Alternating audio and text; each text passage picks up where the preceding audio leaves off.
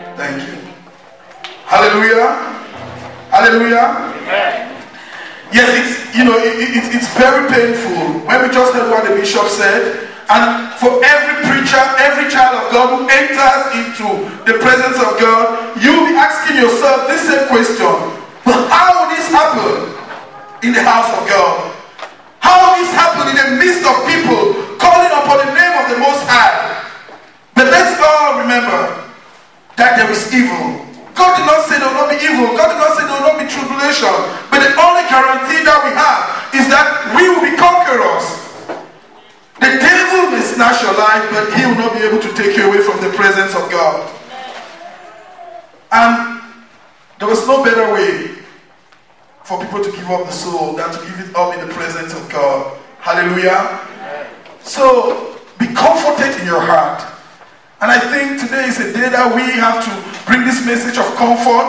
We, because God cannot come and speak unto us directly, but all the preachers and all those who have the opportunity to talk to the children of God, they have to talk to God as a father. So I want all of us to understand that God is a father. We have a father. And I strongly believe that today, through my voice, you hear him speak to you as a father. Hallelujah. So, to all the fathers, I want to say Happy Father's Day. Hallelujah. And even to the fathers, to be Happy Father's Day. It's a glorious thing to be a father, and it's a glorious thing to aspire to be a father. Because our Creator is a father by excellence. Hallelujah. So let's give a mighty shout offering unto God who is the Father of fathers. Want to also praise God for the life of the father of the house. Because every house has a father. Amen. So let's join our hands for our father. Daddy, happy Father's Day to you. Hallelujah. We are so proud to have a father like you. And we pray that God will continue to bless you and to impart you with wisdom so that you will know how to take care of us, the children that He has put under your guidance. Hallelujah. Glory be to God. So I want us to open our Bible in the book of Genesis chapter 17. We will read from verse 1 to 11. And if somebody can help me with that, I'll very much appreciate it. Genesis 17, verse 1 to 11. When Abraham was 99 years old, the Lord appeared to Abraham and said to him, I am God Almighty, walk before me and be blameless, that I may make my covenant between me and you, and may multiply you greatly. Then Abraham fell on his face, and God said to him, Behold, my covenant is with you, and you shall be the father of a multitude of nations. No longer shall your name be Abraham, but your name shall be Abraham. For I have made you the father of a multiple nation, of a multitude of nations. I will make you exceedingly fruitful, and I will make you into nation, and kings shall come from you. And I will establish my covenant between me and you, and your offspring after you throughout your generation, for an everlasting covenant, to be to be God to you and to your offspring after you. And I will give you and your offspring after you the land your sojourn in, all the land of Canaan, and the everlasting possession, and I will be their God. And I and God said to Abraham, As for you, you shall keep my covenant, you and your offspring after you throughout your generation. This is my covenant which you shall keep between me and you, and your offspring after you. Every male among you shall be circumcised. You shall be circumcised in the flesh of your foreskin, and it shall be the sign of the covenant between me and you. Hallelujah. Amen.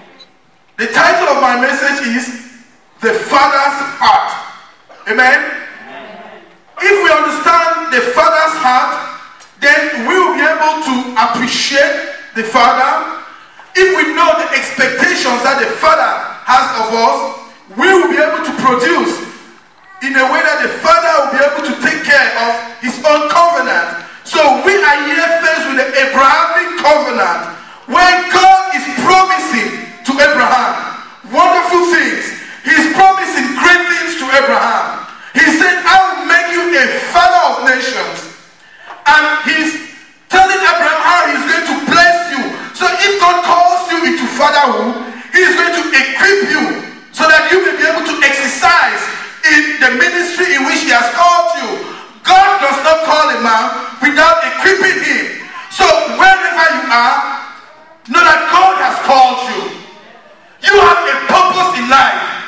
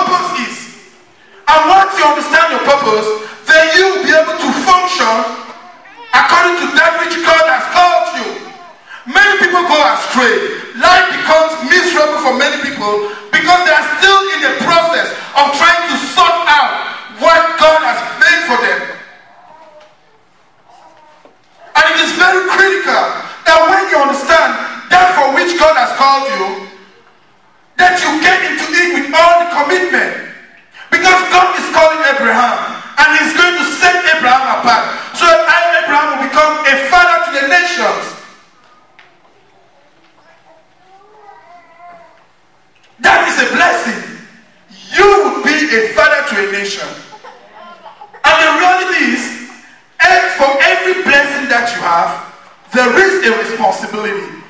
When we look according to the dispensation of the Abrahamic covenant, this is an old covenant. And I want us, because some of us Christians these days, we get stuck onto this covenant. But it's good for you to understand the covenant because we will talk about this covenant and then move on to the new covenant. So that when things are happening, when you start hearing things, you want to ask yourself, am I believing the old covenant or am I believing the new covenant? In order to be able to, in order to be able to overcome something, you must understand it clearly.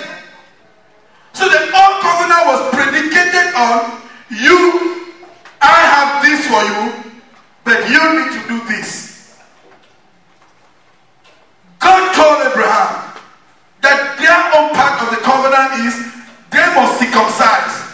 Circumcision was what they had to do. They needed to have a pure heart. And at all times, God expects of us to have a pure heart. Circumcision wasn't an easy thing. Oh no, it, it's not, according to the Jewish tradition, it's not the circumcision that, that we do today. That you go in the hospital in a matter of a few minutes, it's done and the foreskin is removed. No. They used to use, in those days, the circumcision that God is talking here is the one that they use rock. So when you have your baby child, when that child has to be circumcised, they use the stone to peel off and the blood had to spill out. So it tells you how, how, how, how difficult it was for man to stand by this old covenant. It wasn't easy. But for God, it was a solution. Although it had that difficulty, it was a solution because man had fallen out of grace. Remember in the Garden of Eden, when God created man, there was still a responsibility. God told man, you can eat everything, but of this tree, you should not. So that was man's own obligation towards the covenant. But man could not keep that obligation. So now when the Abrahamic uh, covenant came, it became a little harder on man. In order for you to be partaker in the Abrahamic covenant, you had to go through spilling your own blood. Because the circumcision occurred with the spilling of blood. And there was, there was a consequence for you failing comply to that Abrahamic law. And that is where the Bible takes us, and I want us to read in the book of Deuteronomy, chapter 21, I mean 31.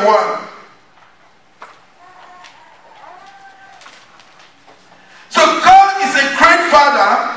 He has promised us everything. He has promised that He is going to give us a land on which we set our feet. Because when we come upon Him, we accept whatever covenant He has made with our forebears. And because Abraham had to prosper, so was his generation, those after him. But what happened when they failed to respect that covenant?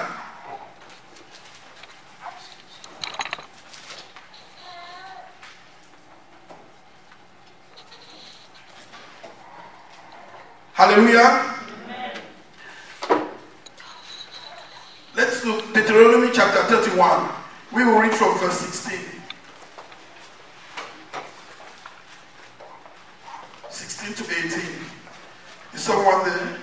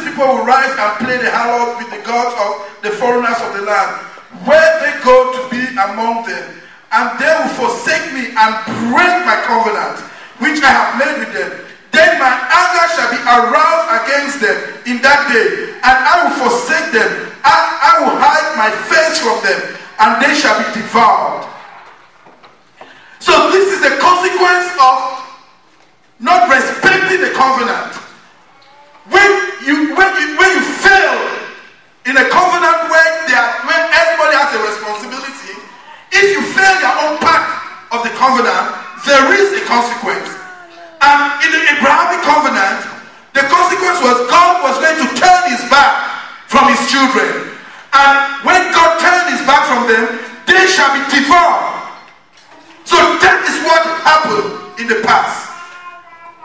And it didn't please God hard. Because when God saw that his children could not keep up to the covenant, he had to do something. Because remember, God created us because he wanted some companion. After God had created everything, so says the Bible, he needed man to fellowship with man. So when you understand the heart of God in everything, God needs us. God wants us to be with him. God loves us. That is why from generation unto generation, God had taken the steps to see how he can bring man closer to him. So wherever you are, the purpose of God in your life is that you be close to him. So no matter what the devil does, no matter where you are, there is just one thing that God wants of you. He wants your fellowship. He wants to be a father to you. And he is paying that price. He wants to take care to make sure that you know that he is your father.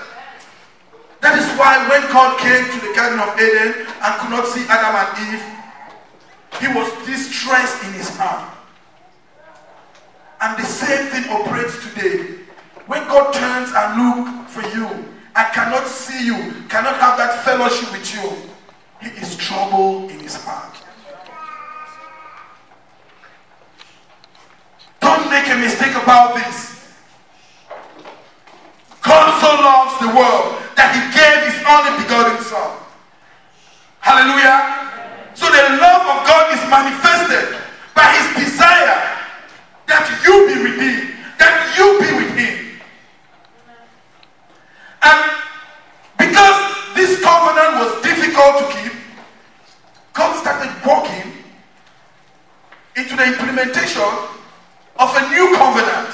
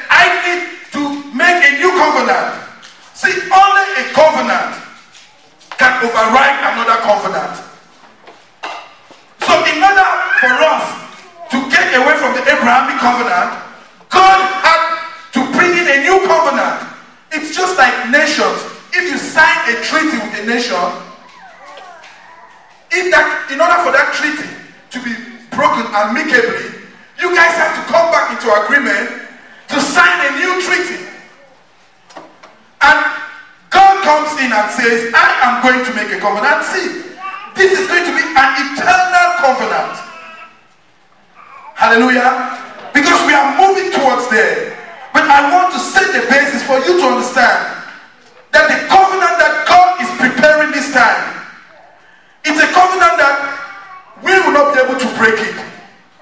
And we will understand why we cannot break this covenant. Partly because God is making a covenant in which He is taking full responsibility. God has understood our nature. That in everything that He does, my people, they'll still be weak. But how can I make it convenient? Hallelujah. Remember, when Moses died, the Bible says the devil came and was fighting for the soul. So, when you are out of covenant with God, it means the devil has authority over you. So, they claim that the, the devil had over Moses, that thought, they the devil thought he had over Moses, is because he thought that Moses had forsaken God's covenant. Hallelujah. So, that is why God, the covenant with God is very, very important. Because once you get out of the covenant, you are no more under God's protection. Because it is that covenant that gives the seal of authority to God when the devil comes in. He says, No, I have a business with this guy, and he has kept his own part of the deal, and I promise him protection. So if you want to attack him, then you have to face me. Hallelujah. So when you get into that covenant with God, it means God is taking over all your struggles. God is not saying that you will not struggle. But He No, I will fight your fight. I will be your God. I will be your father. You can't get to Joseph or Godwin or Georgette or Kelly. You have to pass through me to touch any one of them. And that is what the Father does. So, in order for you to touch a child of God, you have to cross over God. And that is why it's very important for us to understand the covenant that we have with God. So he says this time, I am going to have a new covenant. And it says, but this is the covenant that I will make with the house of Israel after those days, says the Lord. I will put my law in their minds and write it on their hearts. And I will be their God and they will be my people. If God calls you my people, nothing can happen to you.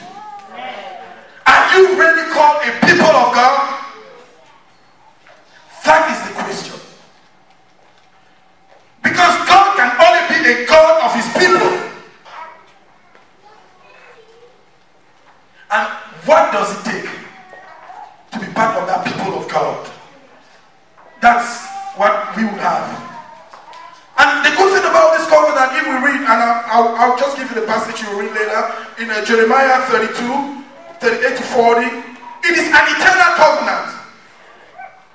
So it's a covenant that will never change. So after all, after God had tried everything, he arrived at the point where he said, This one is going to be an eternal covenant, an unbreakable covenant. That is the covenant that we have. Hallelujah. Hallelujah. And do you want to know this new covenant? It is a covenant that is sealed with the blood of Jesus. It is a covenant where Jesus Christ is the representation. And let's open up a Bible in the book of Matthew chapter 12. And I want someone to read this.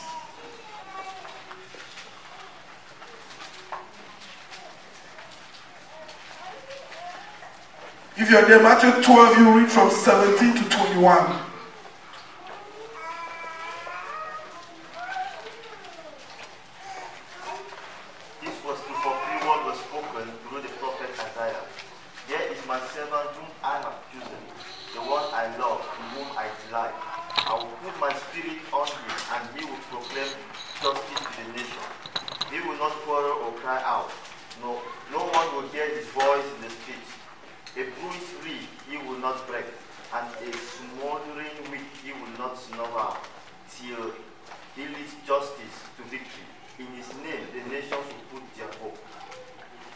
Hallelujah. So Jesus Christ, He's not only a symbol, but He is the new covenant. Hallelujah. God gave Jesus Christ. The Bible says, For God so loved the world that He gave His only begotten Son, so that whosoever believes in Him shall not perish, but shall have everlasting life. So through the prophets, Jesus Christ was announced as a new covenant. And when you go in the book of Matthew chapter 5 verse 17, Jesus Christ himself confirms that he did not come to abolish the law, but he comes so that the law may be fulfilled. And it is still the Abrahamic law, the promises of the Father to us. Remember, what is being fixed is not what God promised to us, but it is that which we have to do. Because in every event, it was us humans that were breaking so when you want to fix a car, they don't just turn over everything. They go to where there's a problem and they fix the problem. So God made a covenant with Abraham that he was going to bless Abraham and make him a father of nations. So all those who came through the who came under that covenant will be blessed. And they will rule over the nations. So that is still the promise that we all have. We are all called to be blessed. We are all called to be champions. We are all called to rule over the nation. That is a promise. That is a covenant.